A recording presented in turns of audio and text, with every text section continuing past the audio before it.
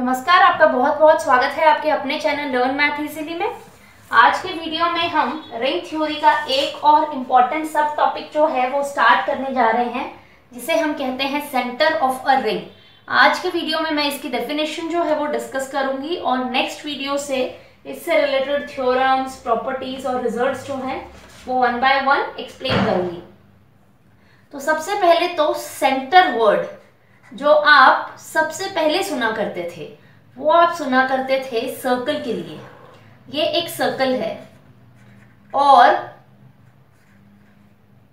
इस पॉइंट को हम सेंटर कब कहते थे सर्कल का? जब उस पॉइंट का डिस्टेंस इस बाउंड्री से किसी भी पॉइंट से ले लो आप, चाहे चाहे इसके साथ ले लो, चाहे इसके साथ ले लो, ये हमेशा एक फिक्स डिस्टेंस होता था। वो हमेशा ही सेम होता था। तब ऐसे पॉइंट को हम कहते थे सेंटर ऑफ़ अ सर्कल तो इस तरह से हम सबसे पहले सेंटर वर्ड जो है वो सर्कल के लिए सुना करते थे। सेंटर का मतलब क्या है? इक्वालिटी जहाँ पर उस पॉइंट से हम बाउंड्री जो है सर्कल की, उन दोनों का जब डिस्टेंस लेंगे, वो चाहे कोई भी पॉइंट हो बाउंड्री पर, वो हमेशा सेम रहता था। अब इसी कॉन्सेप्ट का इस्तेमाल करते हुए हम रिंग थ्योरी के अंदर सेंटर बता रहे हैं। लेकिन रिंग क्या है? ये बेसिकली हमारे पास में कलेक्शन ऑफ़ एलिमेंट्स है जो कि कुछ प्रॉपर्टीज़ को सेटिस्फाई कर रहा है। तो ऐसे में इसका सेंटर क्या होगा?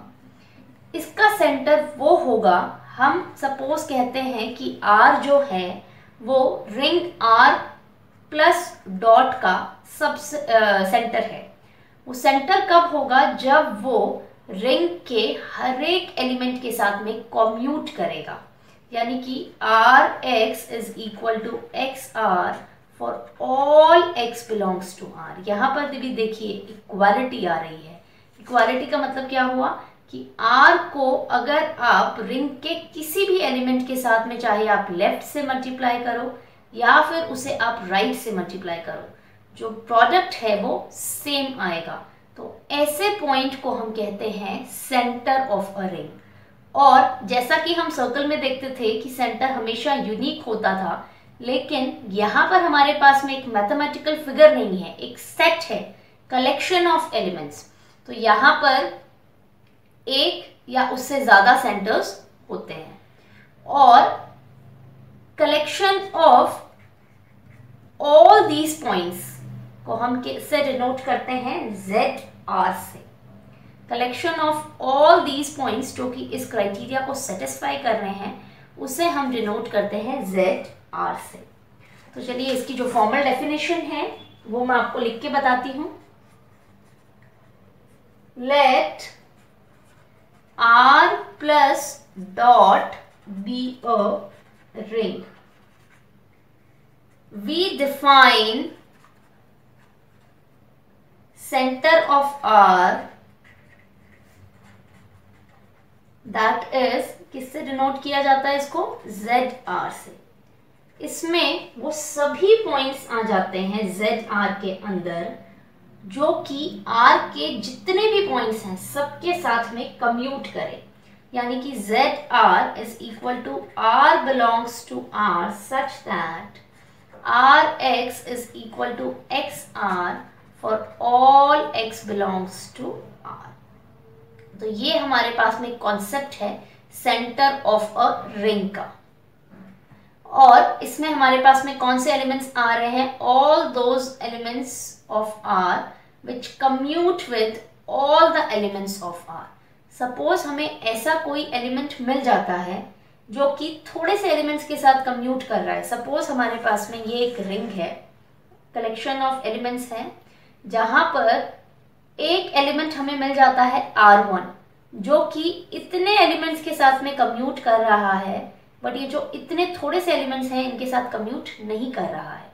तो वो हमारे पास में आर वन जो है, वो जेड आर को बिलोंग नहीं करेगा। कोई भी एलिमेंट जेड आर को बिलोंग कब करेगा? जब वो आर के सभी एलिमेंट्स, इन सभी एलिमेंट्स के साथ में कम्यूट करे तो ये हमारे पास में डेफिनेशन थी सेंटर ऑफ़ अ रिंग की। अब यहाँ पर मैं आपको एक नोट बताना चाहूँगी कि जेड आर यानी कि सेंटर ऑफ़ अ रिंग चाहे कोई भी रिंग हो आपकी with any binary operations Z R जो है, वो हमेशा ही नॉन एंटी होगा। इसका रीजन क्या है? Because zero belongs to R zero क्या होता है हमारा? Zero is the additive identity of R